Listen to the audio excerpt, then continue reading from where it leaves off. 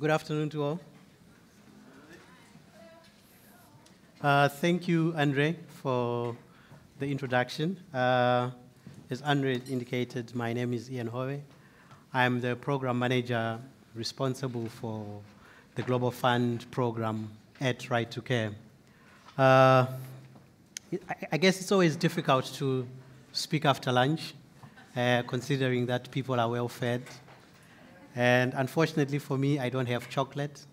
So I hope the sweets, I hope the sweets that have been shared around, you know, will keep everyone energized.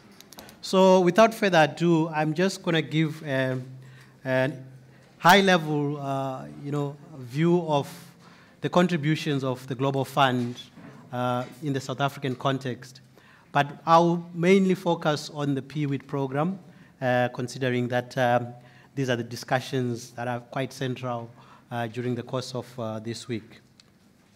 So just to give you an outline, uh, I'll obviously start by acknowledging all the partners that have contributed greatly in the success of uh, our fairly young uh, program. And I mean, and when I say fairly young, really we took over a project from a pilot study and out of that, uh, we have made you know, significant uh, uh, you know, inroads into uh, addressing challenges that you know, uh, are faced with uh, people who inject drugs.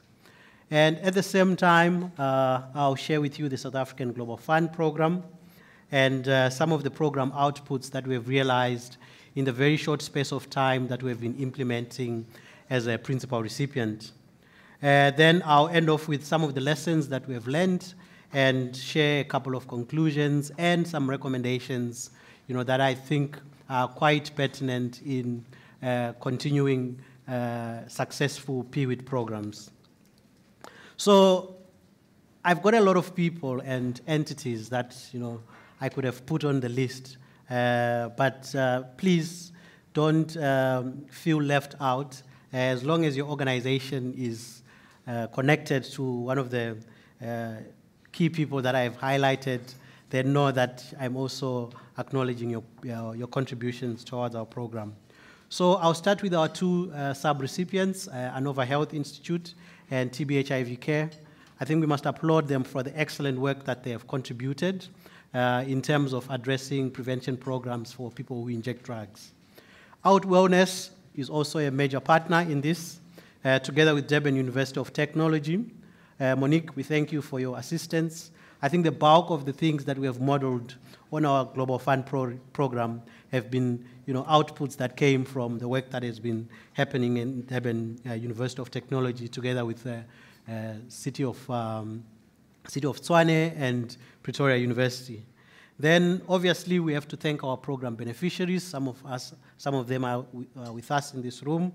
I would like to also acknowledge CDC, uh, the Department of Social Development, uh, SANAC for their continued technical assistance, and lastly, our funder, who's the Global Fund, for availing the resources and the technical expertise to implement uh, this intervention.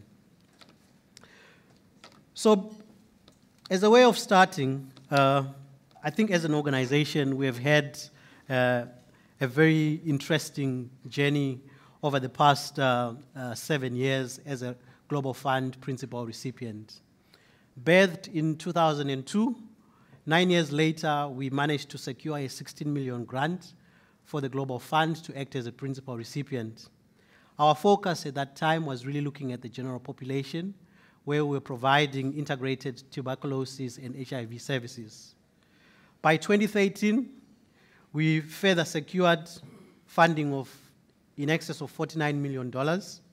And this time around, our focus was now moving in the direction of the new Global Fund strategy, which was really putting more attention and more focus on key populations. And as such, we steered our focus to farm workers, inmates in correctional services, uncircumcised men, and for the first time, we also uh, provided um, uh, work uh, prevention uh, services for men who have sex with men, and the larger LGBTI community. Additionally, we worked hand in hand with the National Department of Health to continue supporting people living with HIV. By 2016, when we entered into the new funding model, our focus was now specialized on targeting men who have sex with men. And for the first time in South Africa, we had a global fund program that was really focusing on people who inject drugs. And we also further continue to support people living with HIV. And that funding was in excess of $36 million for a duration of three years. So it's quite interesting that uh, when we got this grant for PWID, uh, I think it was a first for many. But what has been astonishing has been some of the inroads and some of the successes you know, that we have generated uh, over the past two and a half years. So, with only 16 months left under this grant, I can testify that we have more than a thousand, if not 100,000, of testimonies from people that we engage with on a daily basis who have benefited from our program. But just to share with you, I think some of the issues that you know are really strong to my heart. This was a testimony from a gentleman in Cape Town, and he indicated that since joining OST, his life has changed for the better. He's no longer dependent on heroin, and he's now in touch with how he feels, but much importantly, he's now reunited with his family. I think I should applaud the team from uh, Cape Town who really uh, uh, provided uh, services for this gentleman. The other uh, testimony uh, that I got was also from another uh, gentleman who indicated that I've started the process of rebuilding my life. Today I choose methadone over heroin.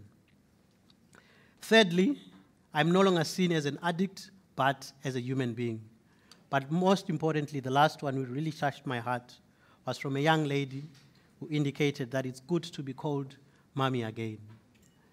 I think this program really goes beyond numbers, indicators, and reaching targets, but it's an intervention that has seen the reuniting of people, reuniting with their families, people feeling human again, families starting to recognize each other, but at the same time, their quality of life being improved.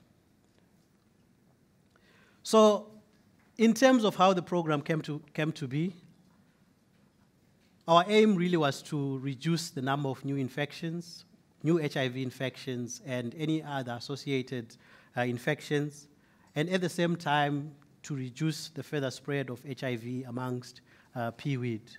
Uh, my colleague who's going to speak after me, Andrew, really give you more details uh, in terms of the genesis uh, around the model, modeling studies that took place uh, to better determine the size estimation of uh, people who inject drugs in South Africa. So by 2013, uh, based on a study by Peterson and others, uh, there was an estimation that approximately 67,000 uh, individuals in South Africa are injecting uh, drug users. But obviously, this was just based on looking at existing major metropolitan cities like Cape Town, Johannesburg, Durban, together, is, um, um, uh, together with uh, uh, Bloemfontein. Then, in a UNODC study, uh, which my colleague who's going to speak, Andrew, where he had a sample of 450 PWID, I think there were some very interesting fact, facts that came out uh, from that uh, small sample. So, of those 450 that he worked with, one in five were living with HIV, a quarter of them were sharing needles, a quarter engaged in sex work, and half of them used condom the last time they had sex. So this really goes to show the level of uh, magnitude in terms of why we need to have such interventions that minimize risk in terms of HIV transmission as well as HCV uh, transmission. Of that group, the HCV prevalence was 45%. And again, Andrew give more light in terms of the outputs that they have generated from their HCV studies. Going back in 2011, uh, I think South Africa, uh, through SANAC, hosted a key populations uh, summit.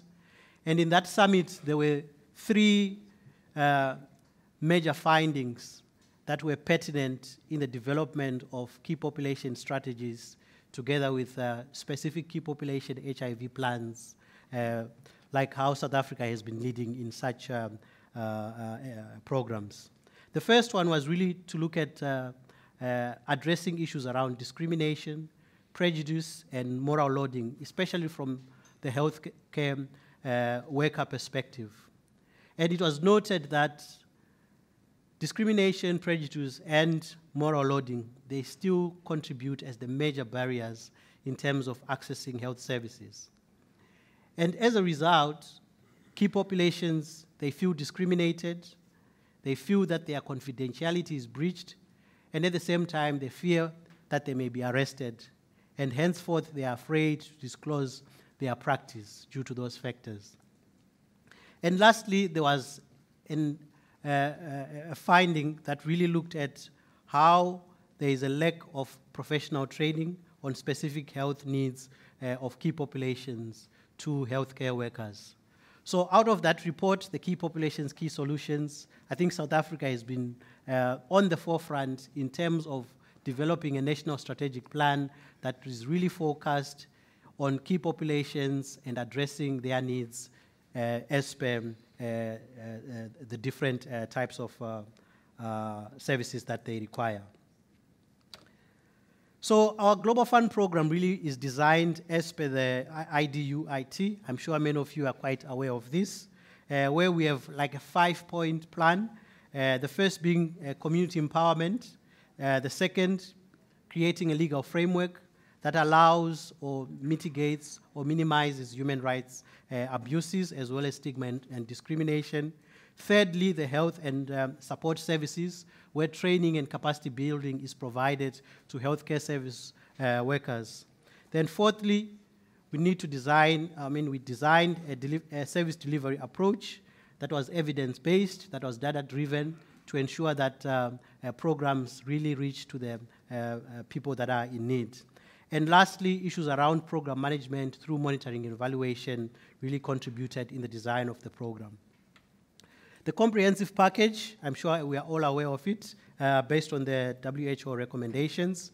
Uh, the only exception is that uh, on the number nine there, I mean number 10, the 10th point, uh, it's uh, methadone instead of uh, distribution of naloxone in the South African context.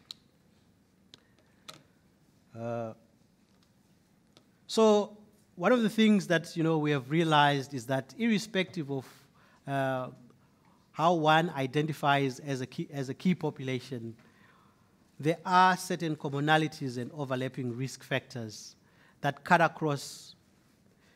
On an individual uh, perspective, for PWID, you realize that sharing injecting needles is a very common uh, overlapping uh, risk factor that our clients continue to, to, to face and it is important that needles and syringes are provided in uh, uh, enough supply to avert any possibilities of sharing. Stigma and discrimination continues to be a societal risk, and we need to put in policies, we need to put in measures, we need to put in uh, uh programs that really address stigma and discrimination. Thirdly, having to buy drugs from dangerous places or dangerous uh, people also contributes as an environmental risk. And lastly, under the structural risk, you find that uh, there's a lack of access to healthcare based on the issues that I've obviously previously um, uh, uh, highlighted too. In terms of the Global Fund uh, program location, uh, the interventions are provided in uh, five provinces. Western Cape, right here where we are, we are in city of Cape Town Metro, and TBHIV Care is providing services there. In Nelson Mandela Bay, we have uh, TBHIV Care uh, providing services in that metro. In eThekwini District, in KwaZulu-Natal Province, uh, TBHIV Care is also uh, providing uh, services there under uh, the Global Fund. And in the city of Johannesburg, we've got ANOVA that's also providing services. Now, let's look at uh, some of the outputs that you know, we have generated from September 2016 to date. In terms of reaching clients, uh, we have seen over 5,500 clients that have been reached with a comprehensive package. Of those, 86% have been provided with HCT, and 26% of them uh, had a HIV uh, uh, positivity reading. In terms of needles and syringes, we have distributed 940,000 uh, across all the districts that I've mentioned. And lastly, uh, of the 100 people that we were set to provide OST, currently we are sitting at 58 people that have been on OST for more than six months uh, uh, and, and over. So we anticipate that by the time we get to April uh, 2019, we would have reached um, uh, uh the 100 uh, people who have been on the program for a duration of um, six months. I think what is important on the OST is that it's only a year-old program, which started in September of 2017. And uh, TBHIV Care, I think uh, they were the first of the blocks. And then when ANOVA also followed through, uh, we've started to see uh, the rise in terms of um, the very low numbers you know, that we were uh, targeting. So lastly, let me end by the lessons that we have learned. Uh, I think the first really is to ensure that there is increased healthcare worker awareness uh, of issues that affect key populations. Many times, the stigma and discrimination that um, our clients faced is really based on a lack of awareness. We need to build programs that are data driven, that are evidence based, and that are competent, but most importantly, that are appropriate for the target um, uh, population. Healthcare services, they need to be responsive rather than reactive. And I think it's quite important that we've already started you know, discussions around how to uh, deal with um, uh, the increase of prevalence uh, in HCV. And I think it's such a very commendable uh, response that you know all of us are really uh, uh, taking part in. And lastly, we need to create an operate, operational guidelines so that the services for HIV, HCV, STIs, TB, and all other programs um, uh, for key populations can be guided. So, in conclusion, I think it's a very common statement that we are all aware of that there is nothing for us without us. We need and we must continue having our uh, uh, uh, project recipients heavily involved in the design of the uh, programs, in the decision making of the programs, and most importantly, in directing the way the programs should be implemented. We also need to have a high degree of support and commitment from governments, aid structures, developmental partners, and civil society organizations to hold each other accountable uh, for the beneficiaries uh, that we service. And lastly, OST continues to be uh, a central element that is imperative in reaching the last 90 uh, of the UNA, UNA, UNAIDS uh, uh, targets. And we need to also include hepatitis C in programs for uh, PWID as co-infection is now common and seems to be on the rise. So with that, I thank you for your time.